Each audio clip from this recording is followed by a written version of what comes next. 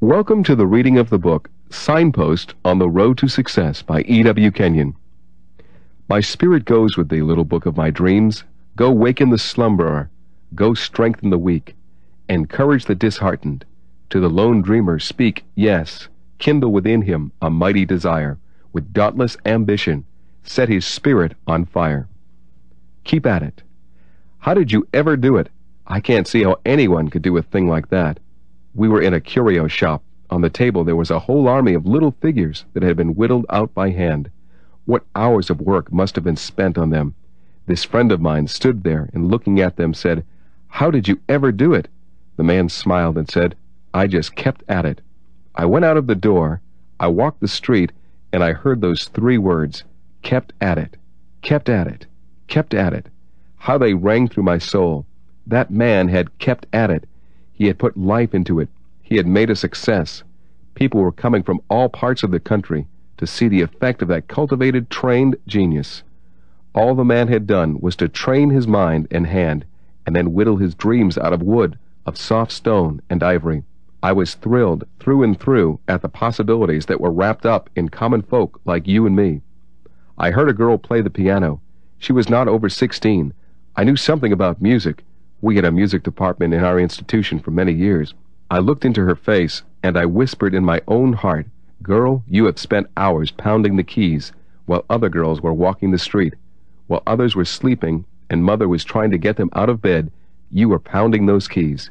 You have lost a heap of good times, but what a musician you are. She kept at it. That is why she won. I stood with a man overlooking a beautiful farm in northern Maine. I said to him, who cleared this land? Who stumped it? He answered, Do you see that little log house down there by the creek? I built that, and wife and I moved into it before there was an acre of this land cleared. I vowed that I would clear every acre of it and put it into crops, and I have done it. That is the spirit that conquers. I vowed I would do it, and I have done it. I stood by the loom in the factory as a boy and vowed that I would become an educator. I did not know what it meant, but I knew that within me was a teaching gift, an undeveloped thing. I vowed I would do it. I did it. I was handicapped as few men have been handicapped, but I did it. I am passing it on to you to show that they cannot conquer you if you will to do it. Struggle to improve. In every effort, improve the dream. Every time you play that piece on the piano, play it better than you played it before. Every time you sit down to that typewriter, make up your mind that you're going to be more efficient than you have ever been. Make your brain work. It will sweat, but make it work. It will improve. It will develop until you become a wonder to those around you. Don't depend on an alarm clock. Don't depend on mothers waking you. Make up your mind that you will have the alarm clock in your soul. Never depend on another man's car. Get one of your own. Be self-reliant. Be punctual. Be diligent. Think through on every problem. Conquer your difficulties as a part of the day's job. We are out in the fight, and we will win the crown. Chapter 2 What have you in yourself?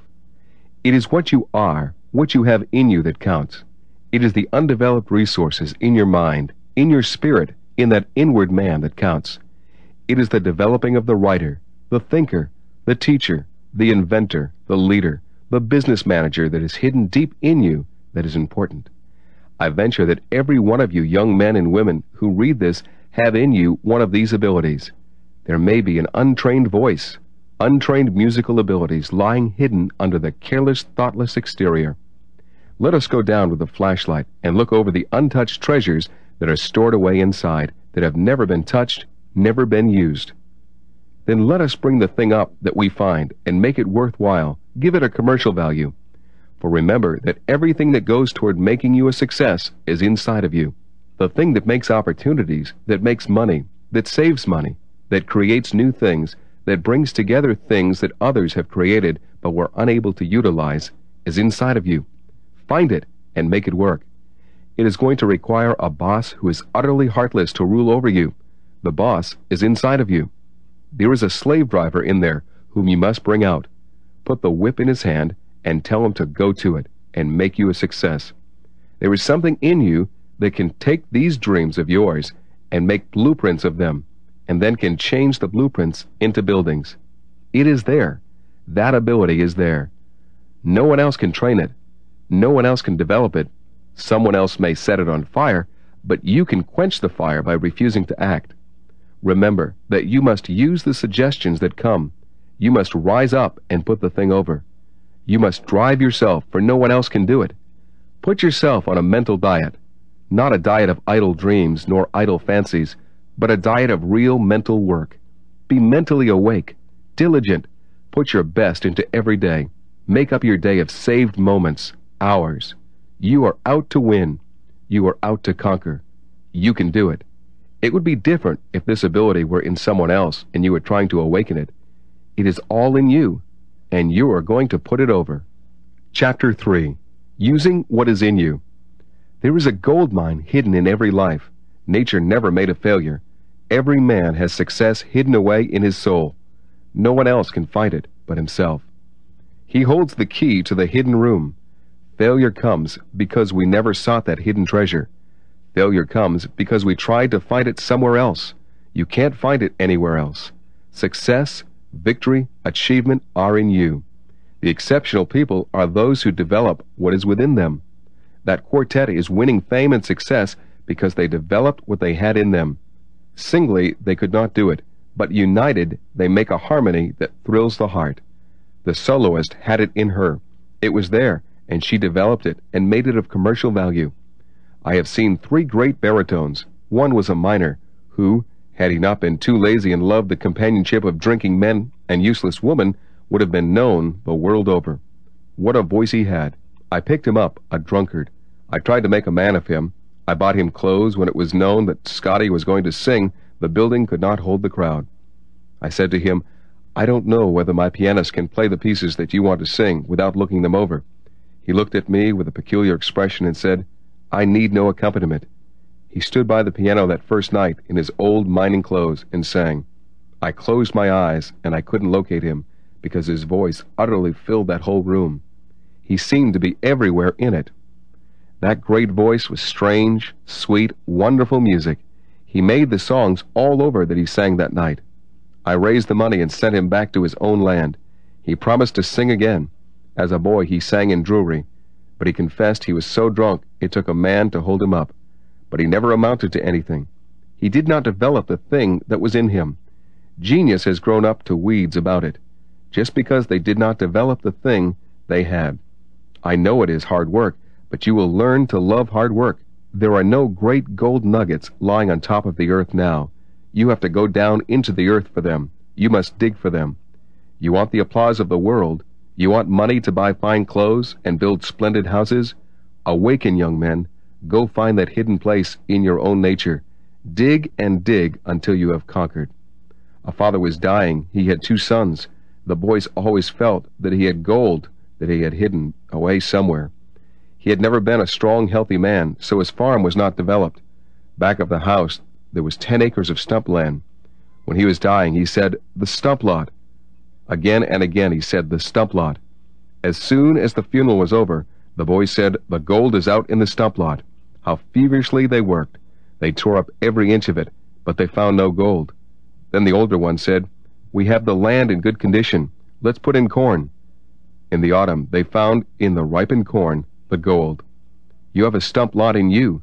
Dig it up, clean it up, and you will find the gold in it. Chapter 4 Train Yourself what you do for yourself counts far more than all that others have done or can do for you. Self-discipline is the most important feature in any life. Unless you put yourself under mental discipline, you will never develop the forces in you that are valuable to the commercial world. Rule your temper so that no matter what happens, what is said or done, your temper will be under absolute control. The man who does not rule his temper can never achieve the success that belongs to him. He destroys the building that he erects. Govern your tongue so that it will say nothing that will injure anyone around you. Practically all the injury that is done to a character, to a business, a home, or a person is done with words. It is a tongue work. The man or woman who makes no contribution to destructive thought and talk is a valuable asset anywhere. He is deaf to anything that is destructive to another. He is blind to anything that folks around him do. He cannot speak of it. he has mastery of himself. The efficiency of an office force is reduced sometimes 50% by idle, unkind words. The man who can govern his temper, his tongue, and his appetite, though he has but mediocre ability, is bound to get to the top. Gaining the mastery of these will be among your first real victories. It is controlled power that is valuable. That waterfall is simply beautiful. It has no commercial value until it is harnessed. It is the harnessed ability in you that is worthwhile ability under intelligent mastery. Find out what you wish to be or do, then train yourself for it. What you have undeveloped in you has no value. No one else either wishes or has the time to develop it. That is your business. The training is all done by you. If you have a voice, put yourself under a teacher, then work and carry out the teacher's instructions. If it is art, put yourself under a competent instructor and obey the laws of art and work. Nothing will take the place of hard work, intelligently directed. Talents in you need push and determination to make them worth money. It is you and you alone who will do the developing. The lazy person who waits for something to turn up is a failure. The only things that will turn up are rent and bills. Nothing will take the place of self-denial and hard work. It is easy to become a failure. All you need to do is to idly dream. It is the man who wills and keeps on willing who wins. Don't float. Don't wait for an opportunity. Go make your opportunity. Put your whole self into life. Study. Drive yourself. Always remember that your worst enemy is inside of you. No circumstances, no person or combination of persons can conquer you as long as you do not destroy your own prospects yourself. Don't be satisfied with anything you do. Always seek to improve yourself. Chapter 5 What are you worth? What value do you place on yourself? Have you ever taken an inventory, or have you just said, Well, I know I could do it, if I would? I believe I can sing better than that person who is singing now. Or I believe I could build a business. Or I could be this. Or I could be that. Are you going to be what you could be? Honestly, are you worth anything in your own estimation? Have you set a price on yourself? Have you set a price on your own ability, on your own time? What is your word worth to yourself? When you say, I will get that lesson, I will conquer that subject, I will master that problem, is your word worth anything? Do you make your word come true when you say, I will give that up, I will put that thing over? What is that word worth to you? Have you faith in your own word? I'm not asking what your word is worth outside. Pride may make you keep your word with people, but do you keep your word with yourself? You are too valuable to barter away the finest part of manhood or womanhood, your word. You are worth more to yourself, likely, than to anyone else. But by a year from now, can you make yourself so valuable that men will pay any price for you? Great corporations are looking for men and women who can earn $50,000 a year. Set your mark, your standard high, then go up there. Allow no day to go by in which you have not improved yourself. Take an inventory again and again and see what you possess. See whether that possession is more valuable today than it was a year ago. Find where your ability lies. Then put all of your best into that ability and make that ability come across and put you over. Remember that what you have hungered and yearned to do, you have the ability to do, if you will. Chapter 6 Why are you a spiritual failure? Modern preaching has produced the modern spiritual failure that we see in the church. Failures are not ready made, they are the product of the teaching that we have had or the absence of the right teaching. I am convinced that most people will come to the level of the Father's purpose if they know how. The spiritual failure I am talking about is one who is born of God but who has never developed, who has remained in an infant state through many years because of malnutrition. They feed upon theories of men rather than upon the Word of God. They have lived in the realm of sense knowledge rather than in the realm of the Word of God. They are ever praying for faith, not realizing that all things belong to them, that He has blessed them with every spiritual blessing in the heavenlies in Christ, and that at the very beginning God marked us out for the position of sons and daughters through Jesus Christ unto Himself. Ephesians 1 3 and 4. You see, the purpose of the Father was healthy, vigorous children. Can you conceive of an intelligent earthly parent that wishes to give birth to children that will be sickly, half witted, deformed creatures? Why, the thing doesn't sound reasonable. And do you think the Heavenly Father takes pleasure in having us sick, mentally, physically, and spiritually? Do you think Jesus likes to contemplate the number of Christians that are in hospitals undergoing hideous operations and going through the torture of the damned? Chapter 7 All have ability. I did not believe this once. I thought there were but a few who had real ability and that the rest of us belonged to the mob. I venture to say that it will be almost impossible to pick out a single person in any large establishment who does not have the ability along some line that could make him outstanding if it were developed. I am dictating this little article for the ambitious man or woman, not for the man who is too lazy to develop what is in him, but for the man who is unsatisfied with anything but the best. As I study men and women, I am convinced of this. There are very few who have developed to the limit the possibilities within them. There is no overdevelopment. Many people are in the wrong place in life. They have no gift for the thing they are trying to do. They are doing it simply to get by. There is room and a salary waiting for the man who has ability and is willing to put hard work into it. Choose your work rather than have the work in which you have no interest thrust upon you. Find out what you can do, what you like best to do. I don't care who you are. I don't care what your handicaps are. They have never made a handicap that could hold any man down who had in him the yeast to rise. Most of the people who are at the bottom are at the bottom because they will stay there. That is where they belong. It is a hard thing to say, but it is true. I am now what I will to be through all these years. The first thing to do is to find out what you want. Set your eyes on the goal, then fight for it. There must be an objective. When you find that objective, set your compass and sail for that star. Chapter 8 Putting yourself in the way of success. If only I could repeat it over and over again, so that wherever you turned in this book, your eyes would see this one fact. You have within you all of the qualities and elements that are necessary to make you a success. Your chief work is the development of the thing that nature has already given you. Before you go to the office, create all around you and in you an atmosphere of victory. You go out with the consciousness that you have victory. You and the unseen one are going down to the office together, and you're going to put it over. You are going out after that job with the smile of a victor, not the smile of a man who is trying to smile, but the man who smiles in spite of himself. Cultivate the habit of thorough work. If it is mental work, think every problem through. Be the one man in that office where you work who thinks through on every problem that comes up. You will find that the boss will want you. Very few men have the ability to think through. They guess, they speculate, they theorize. But down yonder behind the desk is the man who takes the problem and resolutely drives himself to think through that problem from every angle. The boss can get men to do what he tells them to do. He is looking for one with the ability to tell the others how to do it. So set the standard high for yourself. Have a lofty spiritual ideal. Climb to it. Between you and it, there may be many a swamp through which a road must be made. Lumbermen always build roads to the timber they wish to market. You will have to build a road to market your abilities. There is pain and fatigue ahead for you, but you dress for the job. Remember to associate with people who have won, those who help you climb to the top. Don't hang around with a group of has-beens. Associate with the men who are climbing up. The idle gossiping people will not help you. The lazy and careless will stand in your way.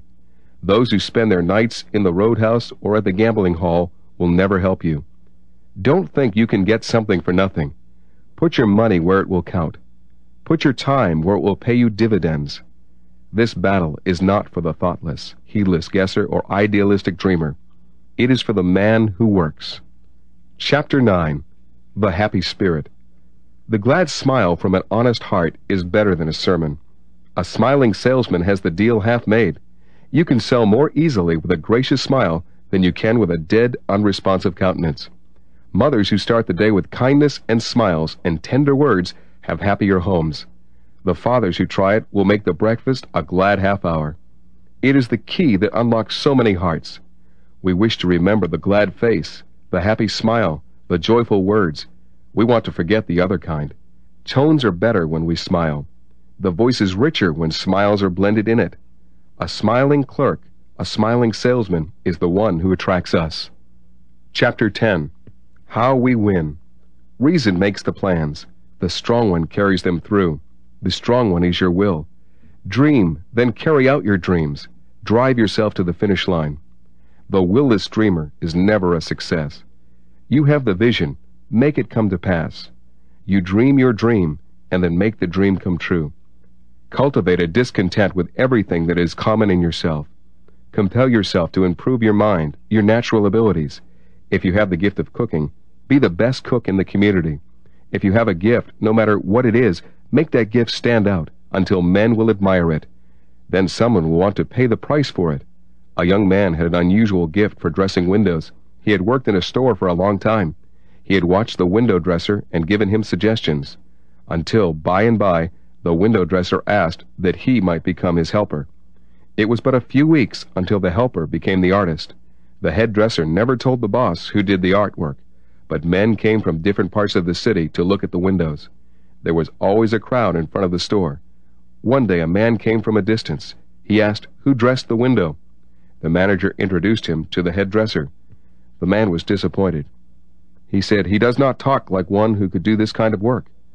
The young man had stood by. Later he was introduced. The man said, Do you dress these windows? The young fellow said, I am only the sidekick. I have this amount of space in my window. The other said, What would you do with it? The young man said, If you will come back this afternoon, I will tell you. He went into his office and drew the plans. When the man came back and looked at it, he said, I will give you $2,500 a year if you'll go back with me. He had been working for $15 a week. You cannot hide trained genius. You cannot hide trained ability. Other people may use you for a time, but you will break the bond sooner or later, like the young man did. It is in you. Pull it out. Chapter 11 It is the you in you that wins. Paul speaks of the hidden man of the heart. That is the you that is in you. The visible you is not the you that puts you over. It is the unseen you who wins the fight. The seen you may be very attractive or very repellent. It is the unseen you with whom we really wish to become acquainted. It is the unseen you, this hidden man of the heart, who runs the whole machinery, who is the boss of the institution. He is the man who is to build you into success. He is the fellow who raises the money to put you over. He is the one who made the seen you come across and make good. It is this unseen you to whom I am writing this morning. I am trying to reach him and cause him to make the seen you study, work, and make yourself worthwhile in life's game. It is the unseen you who makes the seen you worthwhile and makes you do things that have commercial value who makes you do things that the world is waiting to have done. I am saying to the unseen you, get behind this seen you. Make him work. Make him study. Make him dig until he has won the fight. Chapter 12 What's the use? God has forgotten me and nobody cares. I might as well throw up the sponge. These words were said to me just a few weeks ago by a young woman. I asked her how she knew that God had forgotten her, and how she knew that nobody believed in her. She said, I have had nothing but failure ever since I came to the city. I said, Don't you think we should take an inventory and find out why you have had failure? What is the reason for it? When a person has a string of bad luck, I feel like diagnosing the case, and if possible, finding what is wrong. Well, she said, I was whipped when I came. This was the frontier of last resort to me. I was simply running away from bad luck in the East. I said, You didn't expect to win, did you? I had hoped I might. I thought if I could get in the right surroundings, I might get on top.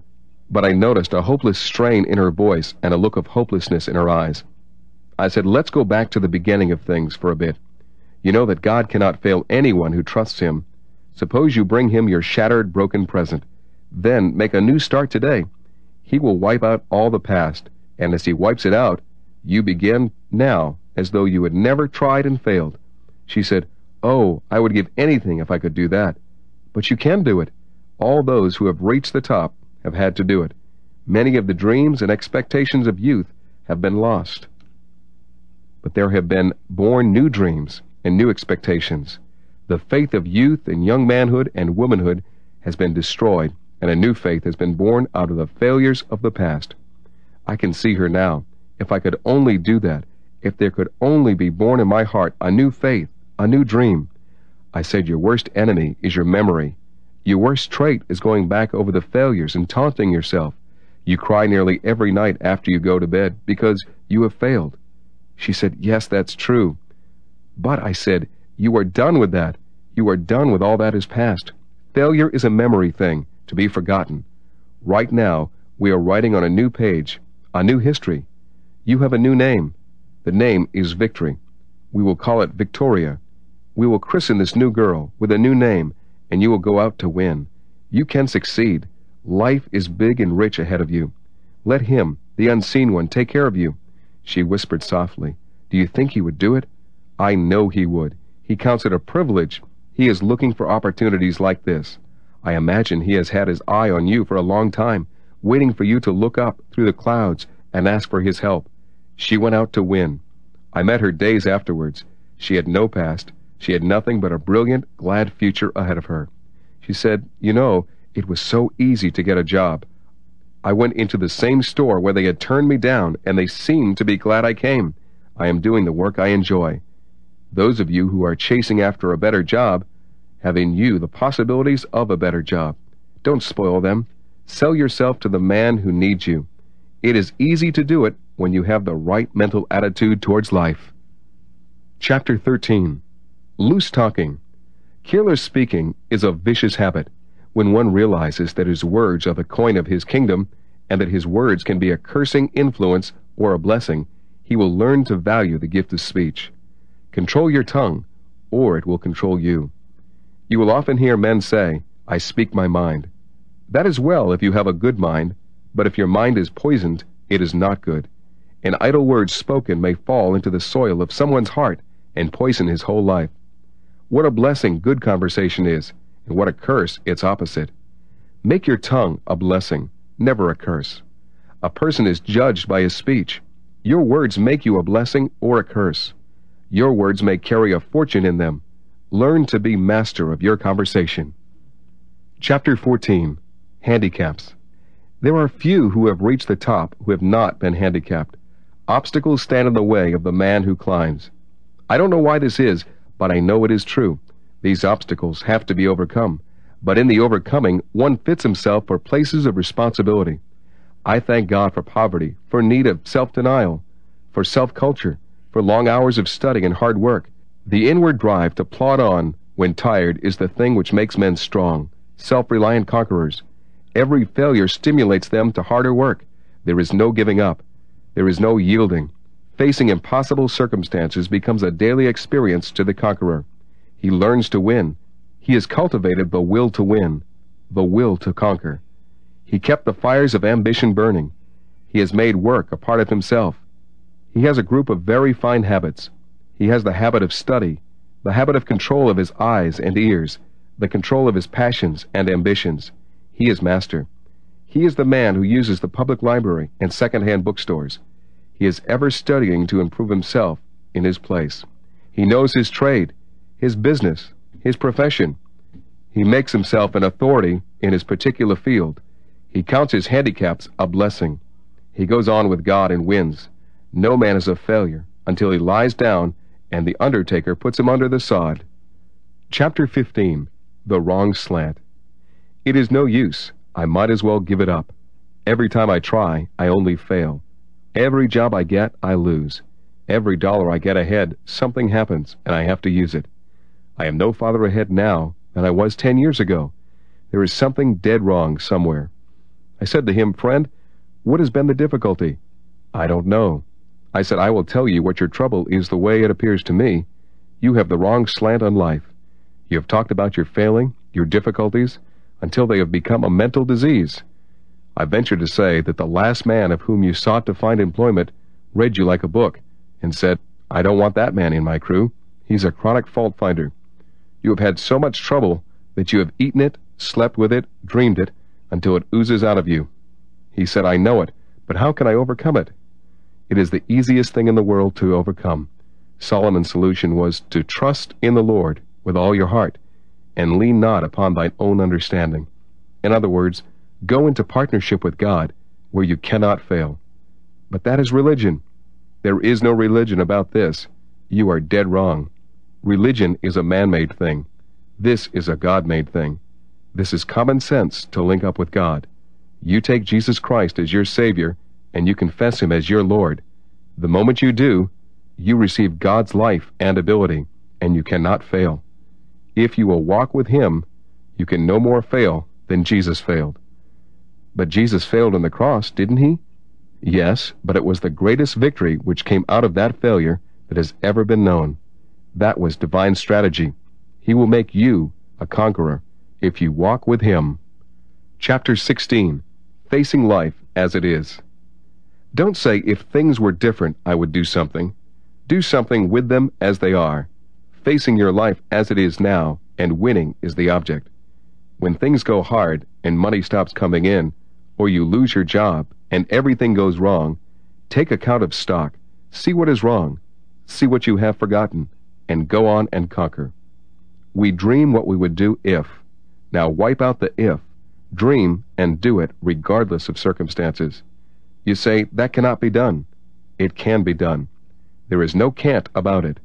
The man who wills to do it, who puts up the fight and is willing to do the work, can put it over.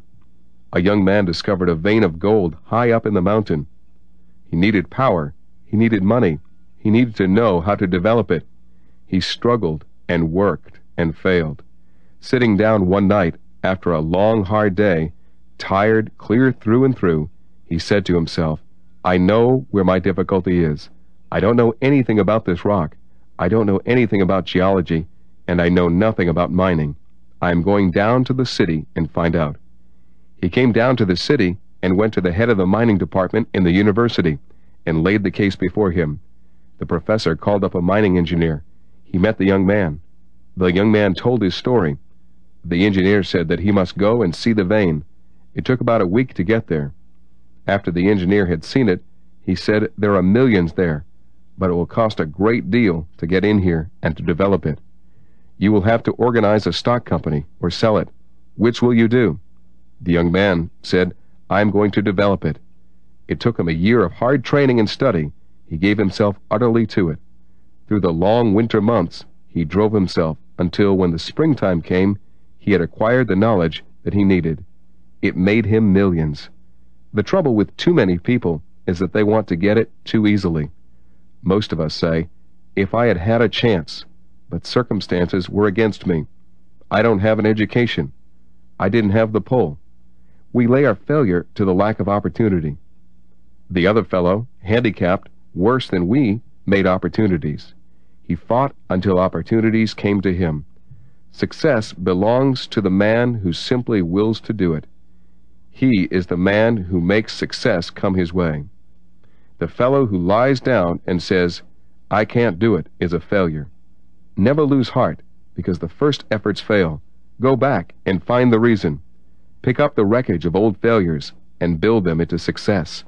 You can do it. Chapter 17 Just a word of warning. Children's lives are largely made up of words, the words of their parents and those whom they love and admire. A mother can fill her boy's heart with zeal for an education and for a position in life, or she can with words destroy the finest spirit that was ever given to a home. The children are word made. What do I mean? Their lives are made up of words of their parents and loved ones. The wife little appreciates the power of words on her husband's life. When he loses his job, she could scold him and tell him that he is no good. He was whipped before he came home, but he would then be doubly whipped. Instead, she puts her arms around him and says, That's all right, dear. You'll get a better position. You are worthy of a better job anyway. He goes out the next morning, thrilled by the touch of her lips, and her words have filled him with courage and confidence. He leaves her heart filled with joy and gladness, and she says, What a man God gave me. He says, What a woman you gave me, Lord. They have learned the secret of words. A few devastating words could have filled his mind with confusion his heart with pain, and his eyes with tears. Words give heartache, and words give strength and comfort and faith. Let's be careful of the words we use. Don't tell that story you heard the other day about this man or that woman. Don't let any other ears be poisoned as your ears have been poisoned with it. Never repeat scandal. Never repeat the calamity things. Let others do the talking about that. You keep your lips for beautiful things, helpful things, comforting things. That is your job. Chapter 18 The Mental Hitchhiker Are the fish worth the cost of pole, line, and hooks?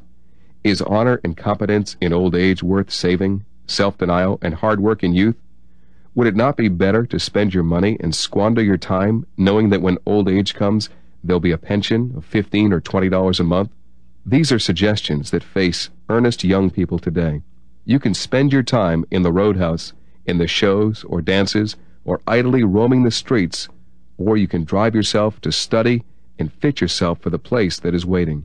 Everywhere, big business is hunting for competent help Many mediocre men fill places of importance because no one can be found who is really fitted for the job.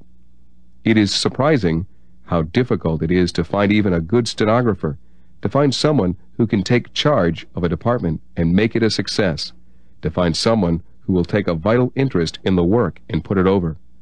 Almost every man and woman is a time server. His ambition is to get his wages with as little work as possible. The new mental attitude is to get without giving. You cannot be a success and do that. The good old days of honest labor seem to be but a dream today. The road that leads to a good bank account is an uphill road, and most of us have to build the road ourselves. The hitchhikers are filling the road today. They want someone else's car to ride in. They want someone to buy the gas. They want someone to pay the taxes and give them free passage. Are you a mental hitchhiker? Are you a mental hobo? Or are you one of the fellows who pay the taxes, build the roads, and bear the burdens? If you are a success, you will have to bear the burdens. You will have to pay the taxes for a hundred other people. The easy way is to hobo it. It is the way of least resistance. I believe a fellow can get used to going on short rations, wearing old clothes, and sleeping in the jungle, but as for me, I am going to go to the top. I am sending out this invitation for the rest of you to come with me. Chapter 19 Loyalty Everyone who employs help places loyalty above almost any other trait in his help. We need skilled mechanics. We need skilled workmen in every department, regardless of their skill. If they are disloyal, they hinder production, they hinder efficiency, they hinder the growth of the business. The new class consciousness that has been developed in the last few years along political lines has been of great injury to our nation. What we need is old-fashioned loyalty to the man or the company for whom we are working. The spirit of loyalty gives a sense of security to the firm. It is a guarantee of a higher grade production, of a higher quality of the thing produced. It guarantees permanency and safety in investment. No one has a right to draw a salary from a firm if he will not be loyal to the firm. If one cannot be loyal, he should find another position. The first thing that we expect in a man after efficiency in his trade is loyalty to the company. It should be taught in our schools and in our homes that we are not rendering to the firm or company our best until we give our heart's loyalty in our service. Chapter 20 What are you going to do? What of life? You are standing on the threshold. Before you lie the untried paths. What are you going to do? Have you chosen your work, your vocation, your place in life, or are you drifting hoping that something will turn up. It will, but the thing that turns up will be of no value to you unless you are ready to take it as it comes. Don't float. Dead fish float. Make up your mind that you will put your dreams into blueprints, and then, with that blueprint in hand, you will build your mansion. Find your place, but be sure that you do thorough preparatory work. Put real hard work into the days of preparation. Don't just get by. Don't be satisfied with anything but 100 plus. Fight for it. Work for it. Enjoy it. Make it a game to win. Be a success in youth, and you will be a success in middle life. You'll be crowned in old age. Make yourself a wanted person. Be so valuable that if you had to move, men and women would weep because of your departure. If you plan to be a minister, be God's best. If you go into business, be the best in your community. If you plan to be a lawyer or a physician, Put a trained, cultured personality into it. Whatever you do, plan to build your house on top of the hill. Harness that lazy mind and make it work. That mind can make a place for you. Let me say again to you, go under your own steam. Prepare yourself, and doors will open to you everywhere. Chapter 21 The Bell Ringer You are selling from house to house. You are ringing bells. That is a good place to start life. I started it there. You meet a different person every five minutes. If you can get them to listen to you, that is the first step. So many simply say, I haven't time, and slam the door in your face. You smile and go to the next. That's the game. But the man who can get inside the house to display his goods is the man who puts it over. The first requisite is a smile and a glad good morning. It is not an ingratiating smile, but a wholesome, big, warm smile. You know that you have something that they need, something they ought to have. You come there with the heart of a philanthropist. You have something to give. They are going to get something worth more than they pay for it. You are not trying to outdo them, but you are there to give them something worthwhile. I didn't know anything about the sales game when I went into it as a boy of 21. Salesmanship was not taught then as it is today. I became one of the pioneers of sales talk, teaching the art of salesmanship. But I found that I could not sell unless I had confidence in the thing I was selling. I was selling pianos and organs from house to house. I tried to sell an instrument in which I had no confidence. I was an utter failure. I went back to the office and asked the manager which was the best piano for such a price. He told me. I went to the factory to find out all about pianos. I wanted to know how the things were built. I went through the factory and studied them until I knew everything a young fellow could learn about the instruments. Then I went out on the road. I knew that I had the best thing on the market for the money. I knew that if I could get a piano into a house and get the boys and girls to practice, it would change the future of that home. I went out to help the community. I succeeded. It was so easy to sell when I had the right mental attitude toward the people. I was trying to bless them. I was trying to help the folk who bought. Do you see the point? That is the real art of salesmanship. I was so dead in earnest about it. I was so enthusiastic about the bargain which I had that I carried them off their feet. I sold to people who had no music in them. I sold to them because of the excessive, burning desire in my heart to make them happy. That is the thing which sells. Settle in your own mind. Is the thing you are selling worthwhile? If it is not, then get something that is. If you are selling insurance, bonds, autos, or groceries, know this. If your entire ambition is simply to get the money out of it, you will fail. But if you are giving them something that is going to be a blessing, and you are enthusiastic over it, you will be a success. Chapter 22 the chronic knocker. Nothing hurts a firm more than to have in its employ men holding important positions who are chronic knockers, who are always finding fault with the business, with the management, with the material they use. Men of this type should be eliminated. One man of that kind in a church will wreck it. One man of that type in a crew of men in the lumber camp will cause the entire organization to disintegrate. Chronic knockers will spoil an organization and wreck its prospects. Men who talk too much and talk unwisely are a detriment to any organization. Never knock your firm. Never knock the goods you are selling because you are selling yourself in every deal. The man who knocks the firm for which he works knocks himself because he is there. If he is not satisfied with it, he should get out and go somewhere else. We have no right to stir up strife and bitterness while we are drawing a salary from a firm. We have come to an unhappy place. We have been taught politically to hate the people who have been successful in life. That if a man has gained a position of affluence, he must be bad. That is wrong. Men like Henry Ford have climbed to the place they occupy by sheer efficiency and downright honesty. Class hatred is an unfortunate thing. It does not belong in a democracy. It does not belong anywhere. Why should I hate the man who is smarter than I am, or who has achieved more than I have? I should honor him and thank God that there are men of that class. Class hatred robs a nation of its efficiency. It robs men of the pleasure and joy of fellowshipping and working with each other. There should be a notice put up in every factory and store and shop saying, No knockers are needed. We need boosters. We need helpers. We need men who encourage, not men who discourage. Make up your mind that whatever you say will be constructive. Just knocking for the sake of knocking is ignorant